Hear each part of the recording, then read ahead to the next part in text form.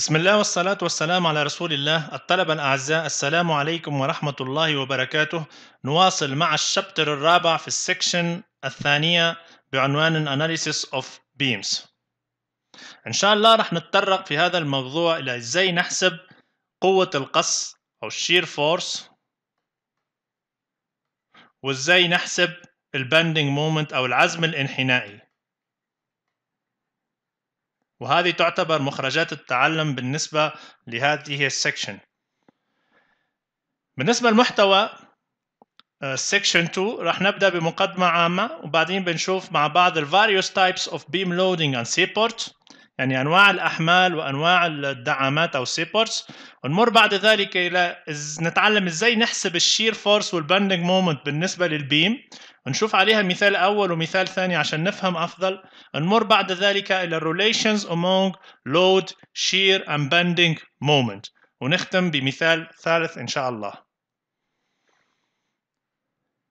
The current section is concerned with determining the internal forces. يعني إحنا هدفنا في ال chapter هذا إن شاء الله راح نشوف ال internal forces التي هي نتيجة لل external forces انواع ال internal forces راح نجدها هنا ونتناولها في بالنسبة للكمرة أو ال beam راح تكون ال shear force وال bending moment كتعريف بالنسبة لل beam it is usually long طويلة straight مستقيمة. Prismatic members designed to support loads applied at various points along the member.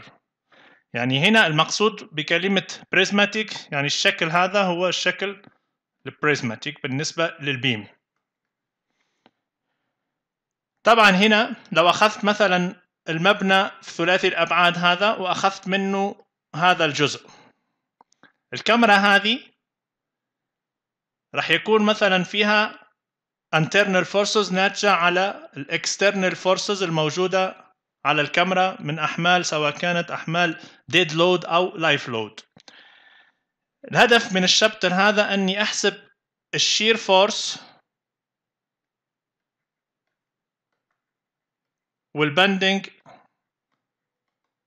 moment عشان استعملهم بعدين مثلا في الخرسانة المسلحة راح أستعمل ال shear force لتحديد الحديد العرضي الموجود هنا برسمه أنا الحين وأيضا ال bending moment بستعمله عشان أحدد السكشن بتاع الحديد الطولي الموجود هنا زي ما تشوفوا وأيضا بستعملهم عشان أحدد عرض وارتفاع الكاميرا.